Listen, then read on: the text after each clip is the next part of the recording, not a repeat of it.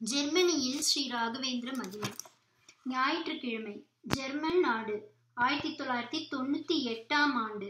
ஹரே ராம ஹரே ராம ராம ராம ஹரே ஹரே ஹரே கிருஷ்ண ஹரே கிருஷ்ண கிருஷ்ண கிருஷ்ண ஹரே ஹரே என்று ஒருவர் ராகத்துடன் சொல்ல கூடியிருந்தவர்கள் எல்லாம் பக்கவாத்தியத்துடன் ஒரே குரலில் திரும்ப சொல்லிக் கொண்டிருந்தனர். அப்படி கூடி பஜனை செய்து கொண்டிருந்தவர்களில் ஒருவர் பூபால பிள்ளை கிருஷ்ணதாசன். இலங்கையை பிறப்பிடமாக கொண்டு ஜெர்மனியில் குடியுரிமை பெற்று முப்பது ஆண்டுகளாக வசித்து வருபவர். நன்கு தமிழை எழுதவும் படிக்கவும் தெரிந்த இலங்கை தமிழர். ஞாயிற்றுக்கிழமையானால் போதும்.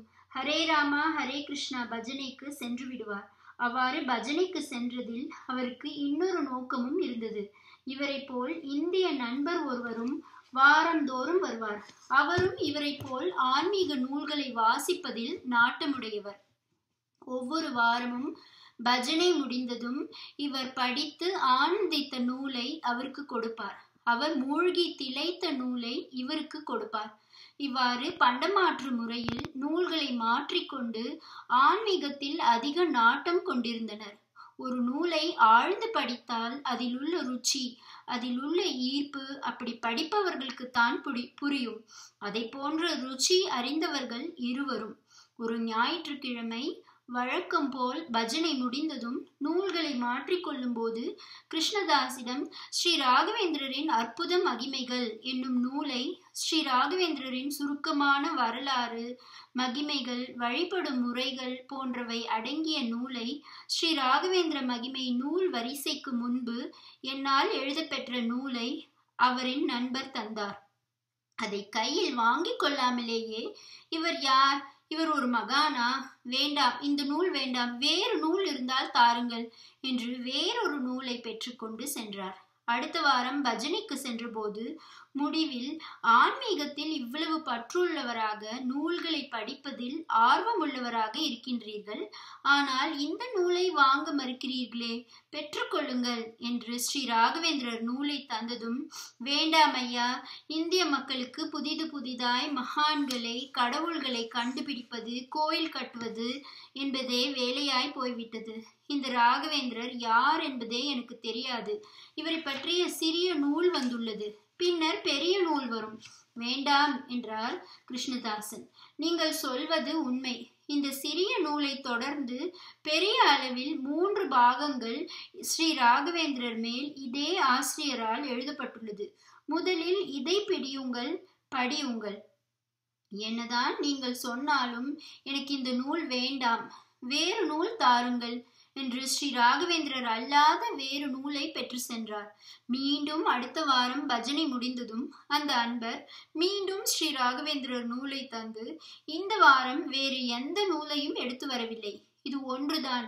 பிடிக்கிறதோ இல்லையோ இதை எடுத்து செல்லுங்கள் என்று மறுவார்த்தை பேச இடம் கொடாமல் கிருஷ்ணதாசன் கையில் ஸ்ரீ ராகவேந்திரர் நூலை திணித்தார்.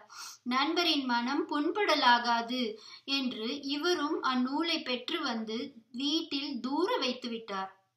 செய்தித்தாள்களில் சில போலி சாமியார்களை பற்றி படித்திருப்பார் போல. அதனால் இந்திய மண்ணில் அவதரித்த மகான்களையே வெறுக்கும் அளவிற்கு இருந்தார். இரவு மணி பத்து. கிருஷ்ணதாசன் உறக்கம் வராமல் படுத்து புரண்டு கொண்டிருந்தார். ஏதாவது படித்துவிட்டு படுக்கும் வழக்கம் இருந்த போதிலும் இந்த நூலை படிக்க வேண்டாம் என அப்படியே படுத்தார். உறக்கம் பிடிபடவில்லை. சரி ஒரு புரட்டு அப்புரட்டிதான் பார்ப்போமே என ஸ்ரீ ராகவேந்திரர் நூலை எடுத்தார். ஒவ்வொரு பக்கமாக படிக்க ஆரம்பித்தார். ஒரே மூச்சில் முழுவதையும் படித்து முடித்தார். நரம்பு மண்டலங்களில் ஏதோ ஒரு உணர்வு பாய்வதைப் போல் உணர்ந்தார். அடடா இந்த நூலையா ரெண்டு வாரங்களாக வேண்டாம் வேண்டாம் என தவிர்த்தேன் என நினைத்து மீண்டும் படித்தார். சிந்தனை முழுவதும் ஸ்ரீ ராகவேந்திரரே நிறைந்திருந்தார். எப்பேற்பட்ட மகான்? ஆஹா எப்பேற்பட்ட மகான்? என்று சதா சர்வ காலமும் அவரது உள்ளம் மருகியது. மறுநாள் ஜெர்மனியில் இருந்த இலங்கை அம்மையாரிடம் சென்றார். ஸ்ரீ ராகவேந்திரரை பற்றி கூறினார். ஸ்ரீ ராகவேந்திரர் படம் இருக்குமா என்று வினவினார். கிடைத்தால் தருகிறேன் என்றதும் தனது வளர்ப்பு தாய் தந்தையரிடம் சென்றார். கிருஷ்ணதாசன் இலங்கையில் கிழக்கு மாகாணத்தில் மீன் பாடும் தேனாடாம் மட்டுமா நகரில் அதாவது மட்டக்களிப்பில் பிறந்து வளர்ந்திருந்தாலும் ஜெர்மனியில் உள்ள ஒரு தம்பதியர் இவரை ஸ்வீகாரம் எடுத்திருந்தனர் வளர்ப்பு தந்தையின் பெயர் வால்டர். அவர்களிடம் சென்று ஸ்ரீ ராகவேந்திரர் படம் கிடைக்குமா? ஸ்ரீ ராகவேந்திரரை பற்றி தெரியுமா? என்று கேட்டார். இல்லை என்று பதில் கிடைத்ததும் ஜெர்மனியில் அவர் தங்கியிருந்த சுற்றுப்புற கடைகளில் கேட்டார். கடைசியாக ஒரு பெரிய புத்தக கடையில் தேடுகையில் வரவழைத்து தருகிறோம் என்றார்கள். ஒரு தமிழ் ஆன்மீக மாத இதழை மட்டும் வாங்கி கொண்டு வீடு வந்தார். வந்து புத்தகத்தை பிரித்தபோது அதில் ஸ்ரீ ராகவேந்திரர் ஸ்ரீ மூலராமர் படமெல்லாம் வண்ணத்தில் அச்சாகி இருந்தது கண்டு மெய் சிலிர்த்து போனார். அதை கலர் பிரதி எடுத்து பலருக்கும் ஈந்து மகிழ்ந்தார். ஸ்ரீ ராகவேந்திரரை பற்றி பார்ப்பவர்களிடத்தில் எல்லாம் கூறினார். அந்த நூலை பலருக்கும் படித்திட கொடுத்தார். அவர் மனம் அதோடு நிறைவு கொள்ளவில்லை. ஸ்ரீ ராகவேந்திரர் ஜீவனுடன் பிரவேசித்து வாசம் செய்து வரும் மந்த்ராலய கஷேத்திரத்திற்கு செல்ல வேண்டும் என்று துடியாய் துடித்தது. மந்திராலயம் இந்தியாவில் எங்கிருக்கிறது? எப்படி செல்ல வேண்டும் என்பது நூலில் இருந்தாலும் ஜெர்மனியிலிருந்து சுமார் பன்னிர பன்னிரெண்டாயிரம் கிலோமீட்டர் பயணித்து சென்று வர அதிக தொகை ஆகுமே என்று எண்ணினார். ஆயிரத்தி தொள்ளாயிரத்தி ஐம்பத்தி ஒன்று டிசம்பர் மாதம் இலங்கையில் பிறந்த கிருஷ்ணதாசன் ஆயிரத்தி தொள்ளாயிரத்தி எண்பதில் தனது இருபத்தி ஒன்பதாவது வயதில் இந்தியாவிற்கு வந்திருக்கிறார். தமிழகத்தின் பல பகுதிகளுக்கும் சென்றிருக்கிறார்.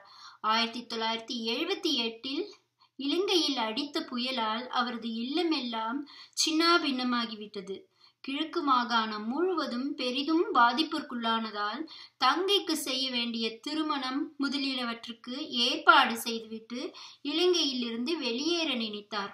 அவ்வாறே ஒரே மகனான அவர் தனது நிலங்களையும் தந்தையின் தங்கையின் பொறுப்பில் விட்டுவிட்டு ஆயிரத்தி தொள்ளாயிரத்தி எண்பதில் இந்தியா வந்தார். பல பகுதிகளுக்கும் சென்றவர் கோவை பகுதியில் சில காலம் இருந்தார். கோவையின் சீதோஷ்ணம் அவருக்கு மிகவும் பிடித்தது.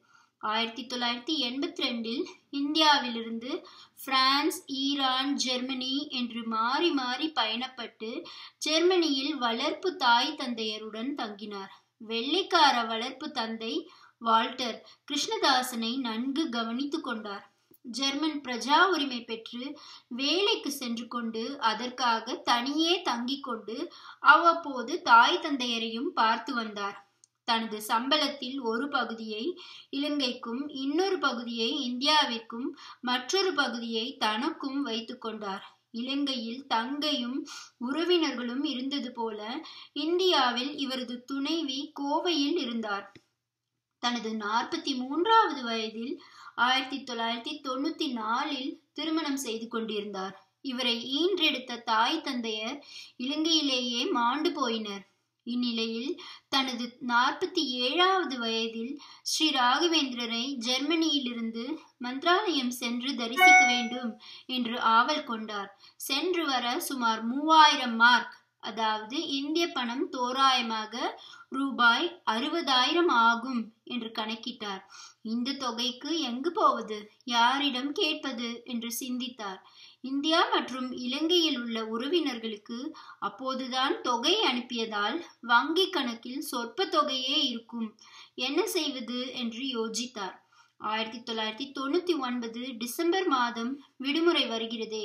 மந்திராலயம் செல்வது நல்லதாயிற்றே.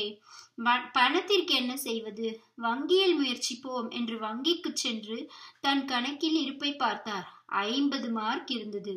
தேவையோ மூவாயிரம் மார்க். வங்கியில் லோன் வாங்கலாம் என்று சம்பந்தப்பட்டவரை அணுகினார். சம்பள பட்டியல் இருக்கிறதா என்றதும் இருக்கிறது என்று தந்தார். கணக்கிட்டு பார்த்து இதற்கெல்லாம் நீங்கள் கேட்கும் தொகை கிடைக்காது என்றதும் முகம் வாடி போனார். அடுத்த நாள் சென்றார். நான் மந்திராலயம் செல்ல வேண்டும். ஸ்ரீ ராகவேந்திரரை காண வேண்டும். எப்படியாவது எனக்கு லோன் தாருங்கள் என்று மன்றாடினார். உங்களுக்கு இங்கு எத்தனை கணக்கு இருக்கிறது? ரெண்டு. பாருங்கள் ரெண்டிலும் தொகை குறைவாய்தான் உள்ளது. இதுவன்றி எங்கள் சட்டத்திட்டங்களை அனுசரிக்கும் போது உங்கள் சம்பள பணம் குறைவாய் இருக்கிறபடியால் நீங்கள் கேட்கும் கடன் தொகை தர இயலாது. எம்மால் வேறொன்றும் செய்ய இயலாது.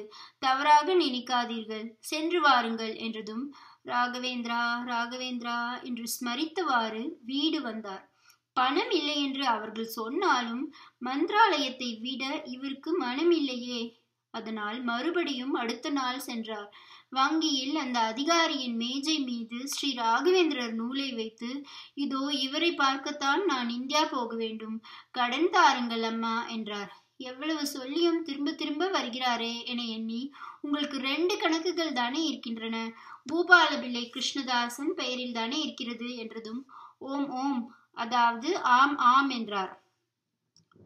கம்ப்யூட்டரில் தேடிக்கொண்டிருந்தவர் இருங்கள் இருங்கள் இந்த வங்கியில் ரெண்டு கணக்கு உங்கள் பெயரில் இருக்கிறதல்லவா? அதில் ஒன்றல்ல இன்று தொகை இருக்கிறதே. அதில் ஒன்றிலே இன்று தொகை இருக்கிறதே. நீங்கள் ஏன் கடனுக்காக அலைகிறீர்கள்? இதிலிருந்து மூவாயிரம் மார்க் எடுக்கலாமே என்று அந்த அதிகாரி சொன்னபோது நன்றாய் பாருங்கள் என்றார் ஆச்சரியத்துடன். பார்த்து விட்டோம் கிருஷ்ணதாசன். இப்போதே எடுத்துச் செல்லுங்கள் என்றதும் மந்திரத்திற்கு கட்டுப்பட்டது போல் எழுதி தந்து மூவாயிரம் மார்க் பெற்றுக்கொண்டார் ஆனால் அவரது மனம் இது என் பணமா? எப்படி என் கணக்கில் வந்தது? ரெண்டு நாளாக இல்லாத பணம் இன்று எப்படி வந்தது? இதை பெற்றுக்கொண்டது தவறோ? சரி இங்கேயே இருப்போம். மீண்டும் கணக்கு பார்த்து அடடா தவறாக தந்துவிட்டோம் என்று கேட்டால் திரும்ப தந்துவிடுவோம். குரு ராகவேந்திரா இப்போது என் கையில் பணம் இருப்பது நிஜம். இதை எப்படி நம்புவது என்று எனக்கே தெரியவில்லையே என்று பலவாறு சிந்தித்து மீண்டும் அதிகாரியிடம் சென்று நான் போய் வருகிறேன் என்றார். இன்னுமா இங்கிருக்கிறீர்கள்? இந்தியாவிற்கு டிக்கெட் எடுத்திருப்பீர்கள் என்று இருந்தேன் என்றதும் உடனே டிக்கெட் எடுக்க சென்றார். டிக்கெட் எடுத்து வேலை செய்த இடத்தில் விடுப்பு போட்டு சென்னைக்கு விமானத்தில் பறந்தார். இரவு பத்து மணி மெயிலில் புறப்பட்டு மறுநாள் மதியம் மந்த்ராலயம் சென்று சேர்ந்தார். அறை எடுத்து துங்கபத்ராவில் குளித்து வேக வேகமாக மாஞ்சாலி அம்மனை தரிசித்து மந்த்ராலய மகானை கண்டு பரவசம் கொண்டார். எப்படி வரப்போகிறேன்? என்று இருந்தவனை எப்படியோ வரவரை வரவழைத்து விட்டீர்கள் குருவே என உருகினார். பிராகாரத்தில் வலம் வந்து நாக பிரதிஷ்டை செய்யப்பட்டிருந்த அரச மரத்திற்கு அருகில் வந்தபோது யாரேனும் தமிழ் தெரிந்தவர்கள் இருந்தால் நன்றாக இருக்குமே என நினைத்தபோது யாரோ ஒருவர் நான் இங்கிருக்கிறேன் என சத்தமாக தன்னுடன் வந்திருந்தவருக்கு கேட்குமாறு சொல்வது இவருக்கு பதில் சொல்வதை போல் இருந்தது. அவரிடம் சென்று தன்னை அறிமுகப்படுத்தி கொண்டார். வழிபடும் முறைகளை கேட்டார். அவரும் என் பெயர் ராமச்சந்திரன் இங்கே நாற்பத்தி ஓரு நாட்களாக சேவை செய்து இன்றோடு முடித்திருக்கிறேன். நாளை அஸ்தோதகம் கொடுத்துவிட்டு ஊருக்கு செல்லலாம் என ஸ்ரீ சுஷ்மேந்திர தீர்த்தரிடம் ஆசி வாங்கச் சென்றேன். அவர் இன்னும் ஏழு நாட்கள் கூடுதலாக செய்ய சொல்லியிருக்கிறார். குருவின் ஆணையை மீற முடியுமா? நாளையிலிருந்து ஒரு வாரம் சேவையை தொடர இருக்கிறேன். நீங்களும் சங்கல்ப சேவை எப்படி செய்ய வேண்டும் என்கிறீர்கள்? அவகாசம் இருந்தால் நீங்களும் ஏழு நாட்கள் சேவை செய்யலாம்.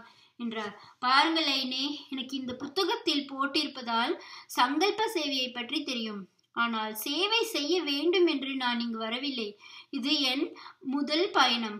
ஆனால் உங்கள் மூலம் ஏழு தினங்கள் என்னை ராயர் சேவை செய்ய சொல்கிறார் என்றே நான் எடுத்துக்கொள்கிறேன் என்று கூறி அன்று மாலையே சங்கல்பத்திற்கான டிக்கெட் தேங்காய் போன்றவற்றை வாங்கி அடுத்த நாள் காலை சீக்கிரமே குளித்து பிருந்தாவனம் சென்று சங்கல்பம் செய்து கொண்டு சேவையை துவக்கினார். துங்கபத்ராவில் நீராடும் போது உள்ளே மூழ்கும் போது குரு ராகவேந்திரா உனக்காக என்றாவது ஒரு நாள் நான் மடம் கட்ட வேண்டும் என்று நினைத்தார். அப்போது கையிலே ஒரு கல் தட்டுப்பட்டது. கெட்டியாக பிடித்தார். மூழ்கி எடுத்து பார்த்தபோது அது முக்கோண வடிவில் இருந்த ஒரு கல். ராகவேந்திரா இதையே உனக்கு மடம் கட்டுவதற்காக வைத்துக் கொள்கிறேன் என்று பத்திரமாக எடுத்து வந்து அறையில் வைத்தார். சங்கல்பம் செய்து கொண்டு போது கூட இதே பிரார்த்தனையை முன்வைத்தார். பாருங்கள் ஆசையை மந்திராலயம் வருவதற்கே உன்னை பிடி என்னை பிடி என்றாகியது. இதில் மடம் கட்ட வேண்டும் என்று சங்கல்பம் வேறு. ஏழு நாள் சேவை முடிந்ததும் ராமச்சந்திரனிடம் எனக்கு மந்திராலயத்தை விட்டு செல்ல மனமில்லை. ஜெர்மனிக்கு போக போவதில்லை. இங்கிருந்தே ஃபேக்ஸ் அனுப்பி வேலையை ராஜினாமா செய்துவிட்டேன் என்று கிருஷ்ணதாசன் கூறியதும் உங்களுக்கு உதவும் பொருட்டே நாற்பத்தி எட்டு நாட்கள் அதாவது ஒரு மண்டலம் சேவை செய்யும் வாய்ப்பு எனக்கு ஸ்ரீ சுஷமேந்திரர் மூலம் கிட்டியதாக எண்ணுகிறேன். உங்கள் வேண்டுதல் நிறைவேற வேண்டுமென்றால் நிறைவேற வேண்டுமென்றால் இப்போது மந்திராலயத்திலிருந்து புறப்படுங்கள். முடிந்த போதெல்லாம் வாருங்கள். இது ராயரே என் மூலம் கூறுவதாக வைத்துக் கொள்ளுங்கள். ராயர் பல மகிமைகளை உங்களுக்கு அருள்வார். திரும்பச் சென்று அதே வேளையில் சேருங்கள் என்றார். கிருஷ்ணதாசனும் ஸ்ரீ ராகவேந்திரரை தொழுது மந்திராலயத்திலிருந்து புறப்பட்டார். அன்றிலிருந்து அவருக்கு ஏற்பட்ட அனுபவங்கள் அலாதியானவை என்பதோடு கூட பிரமிப்பில் ஆழ்த்துபவை.